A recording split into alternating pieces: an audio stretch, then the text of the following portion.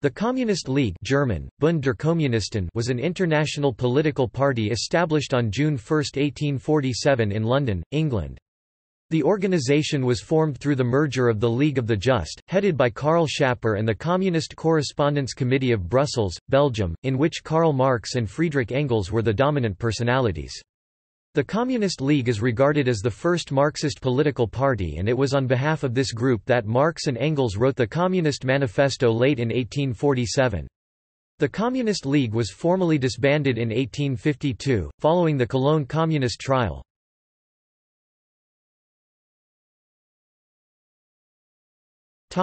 Organizational history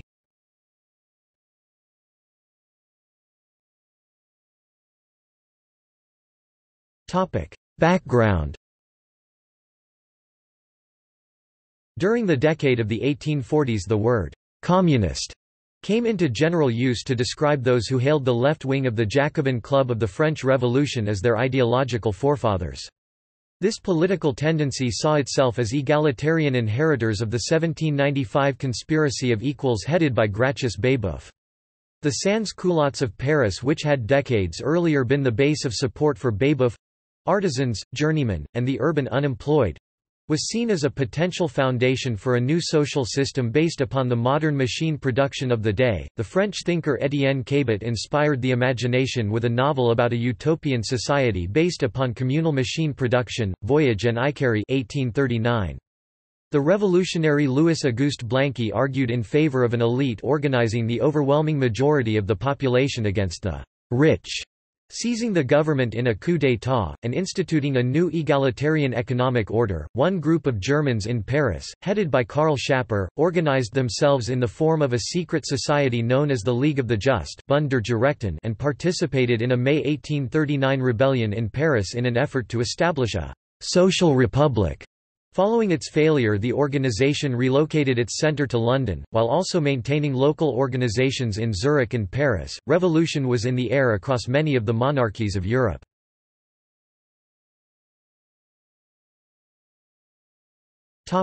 Creation of the Communist League The year 1846 found Karl Marx and his close friend and co-thinker Friedrich Engels in Brussels, establishing a small political circle of radical German émigrés called the Communist Corresponding Committee and writing for the German-language Deutsche Brüsseler Zeitung Brussels German newspaper. Also important in this early circle was Wilhelm Wolff, a talented and radical writer hailing from the Silesian peasantry who had been forced to emigrate due to his agitation against the Prussian autocracy. The Brussels Communist Corresponding Committee had at the same time small counterparts located in London and Paris, composed of a handful of radical German expatriates living there. Relations between these small groups were not close, with petty jealousies and ideological disagreements preventing the participants from functioning as an effective political unit. Be that as it may, in the latter part of January 1847 the disparate parts of the fledgling German communist movement began to congeal in a single organizational entity when the London centre of the League of the Just first broached the idea of organizational unity with the Communist Corresponding Committee. A letter of 20 January 1847 by Schapper requested that Marx join the League in anticipation of a scheduled London Congress at which a new set of principles would be adopted based upon the ideas previously expressed by Marx and Engels. Both Marx and Engels were persuaded by the appeal and they both joined the League of the Just shortly thereafter, followed by other members of the Communist Corresponding Committee. In June 1847, the London Congress took place and the League of the Just adopted a new charter formally changing the group's name to the Communist League. The Communist League was structured around the formation of primary party units known as communes, consisting of at least three and not more than ten members. These were in turn to be combined into larger units known as circles and leading circles, governed by a central authority selected at regular congresses. The League's program called for the overthrow of the bourgeoisie and establishment of the rule of the proletariat and the construction of a new society free both of private property and social classes. The initial conference was attended by Engels, who convinced the League to change its motto to Karl Marx's phrase, Working men of all countries, unite. At the same conference, the organization was renamed the Communist League and was reorganized significantly. In particular, Marx did away with all superstitious authoritarianism as he called the rituals pertaining to secret societies. The conference itself was counted as the first congress of the new league. The Communist League had a second congress, at Great Windmill Street, London, in November and December 1847. Both Marx and Engels attended, and they were assigned the task of composing a manifesto for the organization. This became the Communist Manifesto. The League was not able to function effectively during the 1848 revolutions, despite temporarily abandoning its clandestine nature. The Workers' Brotherhood was established in Germany by members of the League, and became the most significant revolutionary organization there. During the revolution Marx edited the radical journal the Neue Rheinische Zeitung. Engels fought in the Baden campaign against the Prussians June and July 1849 as the aide-de-camp of August Willich.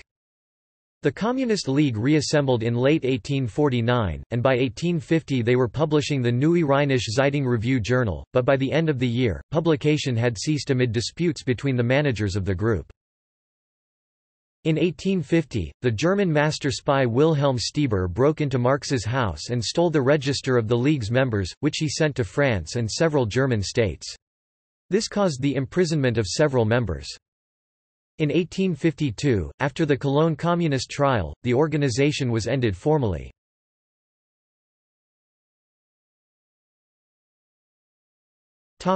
Members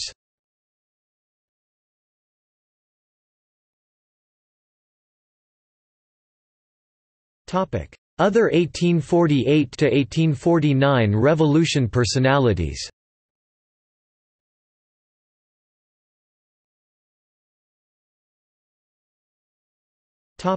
See also. German Workers' Educational Association. History of the Left in France. July Monarchy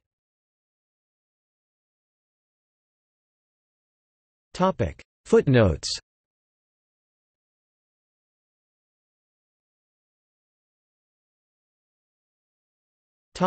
External links. The Communist League, 1847–1850, Documents of the League on Marxists.org. Revelations concerning the Communist trial in Cologne by Karl Marx. Bund der Geächteten in German